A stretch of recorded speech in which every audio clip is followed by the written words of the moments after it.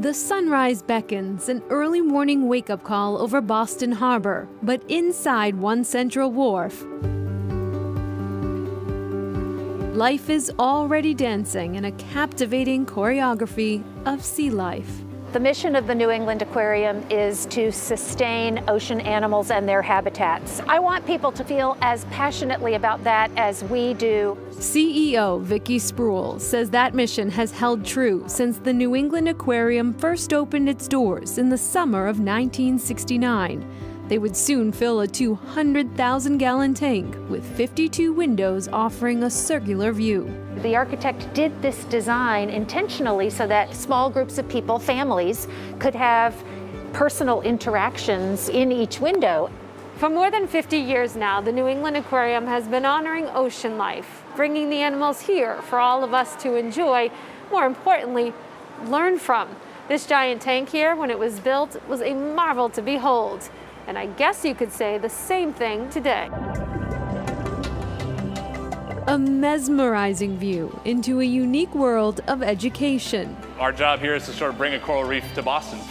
Mike O'Neill is supervisor of the Giant Ocean Tank, or GOT. The Giant Ocean Tank is our largest exhibit. It's a Caribbean coral reef ecosystem. It has about a thousand animals in it. My job is to take care of anything they need, basically. Myrtle, our big green sea turtle, a couple loggerhead sea turtles, and our sharks and our stingrays. So the needs can vary based on the creature. He knows the 1,000 animals that live in its depths better than most. His job is to ensure they thrive. The cornerstone of that may surprise you a six story filtration system. The filtration system is going to turn over the entire volume of water roughly every 90 minutes, and that's really what's going to keep the chemistry of the water ideal for the animals. That's 200,000 gallons in the time it might take to grab lunch with a friend. Speaking of lunch, as the aquarists prepare to take a deep dive, Shrimp buckets done, scatter. Volunteers prepare the 35 pounds of food per day it takes to sustain the GOT.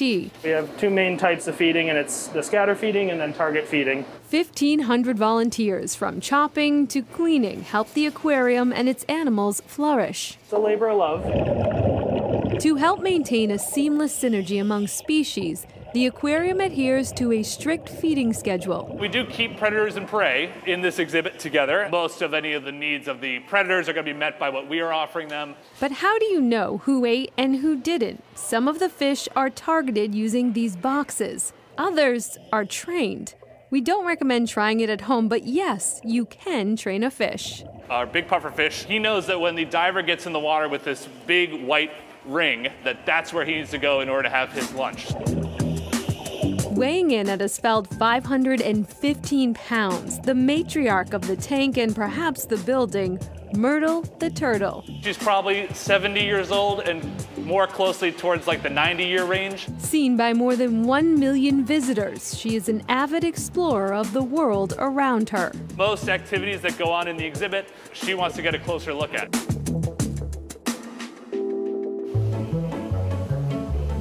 You get to feed penguins for a living. I do, yeah. So what is that like?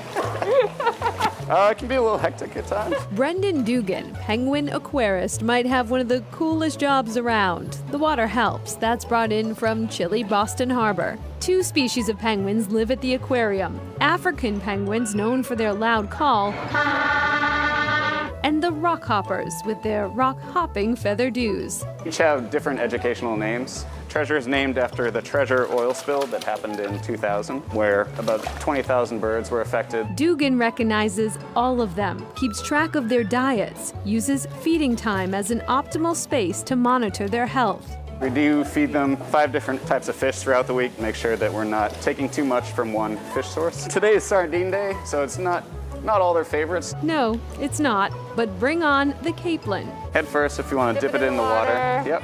Right here? Just watch your hands. Woo.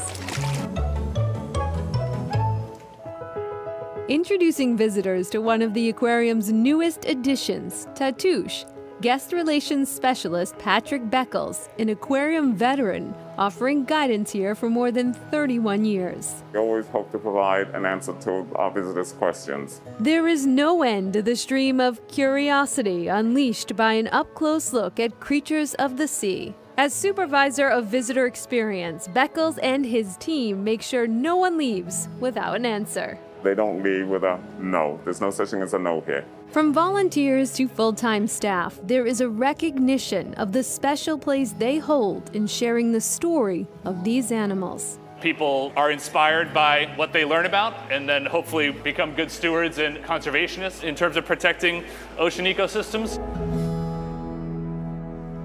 The aquarium is currently closed in compliance with the City of Boston's COVID 19 orders. When Nicole was there in the fall, the staff told her that many of the animals have favorites when it comes to mealtime. For example, Myrtle loves to eat lettuce, cabbage, and Brussels sprouts. And spoiler alert, the coral reef is not real, although it certainly looks it.